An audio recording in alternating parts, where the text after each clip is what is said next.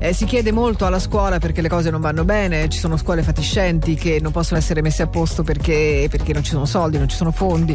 Allora cosa succede? Succede che eh, due scuole si aiutano tra di loro e succede nel milanese una storia di cooperazione virtuosa tra questi due istituti e di un cerchio poi che si chiude, no? quella che lega eh, questa scuola professionale Galdus e l'istituto superiore Lagrange. Allora, la prima, l'istituto professionale, offre ai ragazzi questa preparazione di tre anni per avere una qualifica di operatore edile, ok?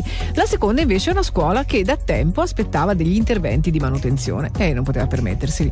Quindi che cosa succede? Succede che gli studenti, la, anzi la scuola professionale ha deciso di offrire manodopera gratuita in cambio di un'esperienza sul campo eh, per i ragazzi. Sapete che i ragazzi se devono studiare come operatori edili devono fare teoria ma devono fare anche pratica, cioè perché non farla sulla scuola che ha bisogno, intervenire lì e allora vai con la scuola che aiuta l'altra con pennelli, vernici per titeggiare scorreggiare, dare un nuovo volto agli uffici.